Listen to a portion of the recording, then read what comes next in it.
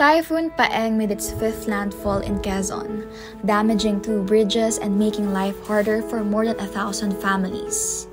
This is where the second RC Makati initiated relief mission was targeted. Early morning on November 4, the RCM team led by COS Ron departed Manila to meet with Director Porsche Pena in Lucena.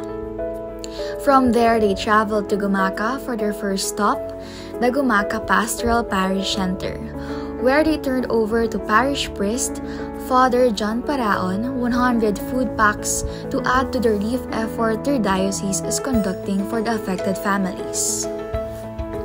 The relief mission was in coordination with Caritas Manila, which provided the contact to the distribution site.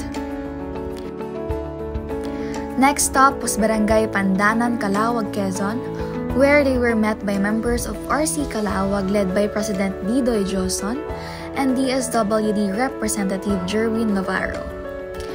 There was a short program where RC Calauag President Didoy, Acting Mayor Leah de la Cruz, and a barangay official delivered messages.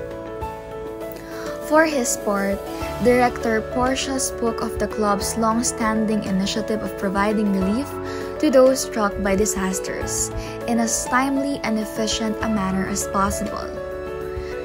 After the short program, distribution of food packs that contain 2 kilos of rice, canned goods, and noodles were distributed to over 200 families in 5 barangays.